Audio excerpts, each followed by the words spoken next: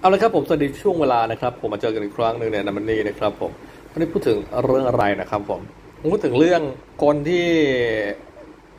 ทำรายได้ 6,000 บาทเป็น 15 ล้าน ภายในระยะเวลา 3 เดือน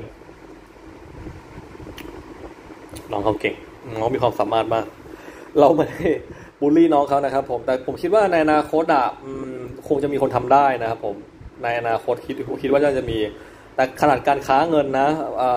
ระบบการค้าเงินการเทรดนะครับ ผม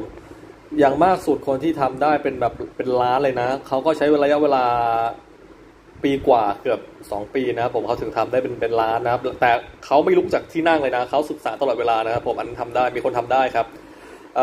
ส่วนต่อมา ถ้าเป็นยุคสมัยปัจจุบันนี้ณตอนนี้มีคนทำได้เหมือนกันครับ ผมก็คือคนที่ใช้เงิน1นึ่งแสนถ้าจำไม่ผิดเป็น 1 0,000 ดอลลาร์ประมาณ4 0 0แสนบาทนะครับผมซื้อชิบะอินุในช่วงเออรี่นะครับผมแล้วก็ได้ประมาณหมื่นกว่าล้าน ใช่ครับผมแต่เรื่องนั้นเป็นเรื่องเพ้อฝันนะครับผมเพราะว่าบางคนมันมันไม่ทันหรอกช่วงระยะเวลาแบบนั้นมันแทบจะไม่ทันนะครับผม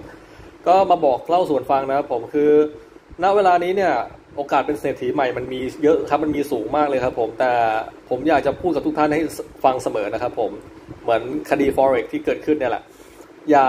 รีบจนเกินไป อย่าโลภจนเกินไป อย่าคิดเพียงแต่ว่าเราจะได้เพียงอย่างเดียว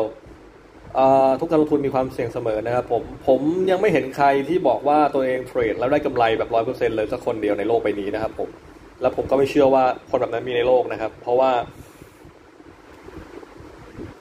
มันมีกำไรมันต้องมีขาดทุนเสมอนะครับผมไม่มีทางที่กำไรร้อยเปอร์เซ็นต์ตลอดเวลานะครับผมแม้แต่เจ้าพ่อทางการเงินอย่างจอร์จ โซรอสนะครับผมหรือบิดาแห่ง VI นะครับผม